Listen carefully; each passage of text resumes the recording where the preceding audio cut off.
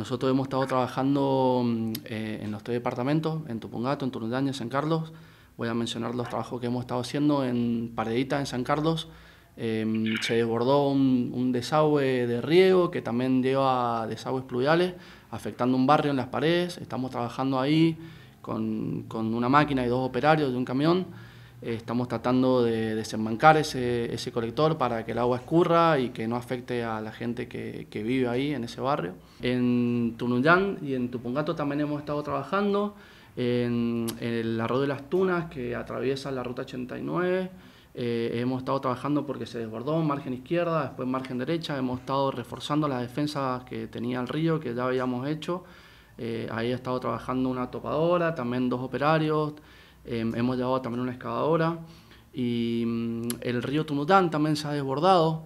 Eh, el río Tunudán eh, está trayendo en este momento eh, tres veces más de caudal que el caudal ordinario, que solía traer 30 metros cúbicos, está trayendo alrededor de 100 metros cúbicos segundo.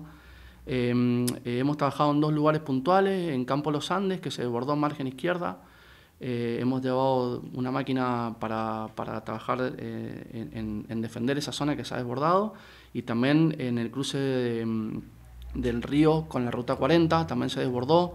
Eso fue una situación de urgencia que tuvimos que atender.